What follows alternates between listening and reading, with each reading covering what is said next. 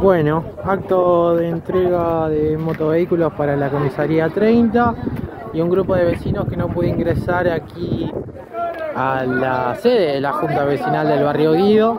Bueno, reclaman con presencia policial a esta hora de la tarde aquí, mientras se realiza el acto puertas adentro. Afuera, un grupo de vecinos y vecinas que está aguardando justamente para ingresar y se les prohíbe el paso. Para que los chicos no pisen de la escuela.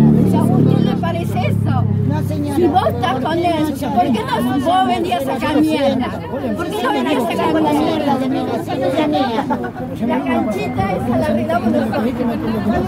Parece no presidente, estamos apoyando a los vecinos. Estamos apoyando a los vecinos. Todo lo que puede colaborar para el barrio me parece bárbaro. ¿Y ustedes que no son capaces de ponerse los guantecitos y enseñar?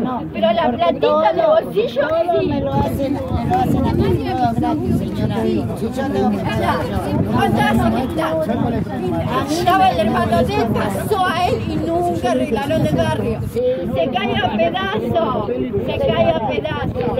Hasta los oficiales de policía saben estar limpiando. Arriba de la gente Calla, calla. Sí, señora, diga. Ya, no hay nada. razón. No, señora. ¿Por qué no nos dejan Bueno. entrar? ¿Por qué no nos dejan Clima de entrar? tensión aquí en el barrio Guido eh, a esta hora de la tarde, donde un grupo de vecinos autoconvocados se encontró aquí en la sede de la Junta Vecinal con la actual Junta, bueno, con distintos reclamos por desbordes locales y también por la falta de agua en los distintos módulos.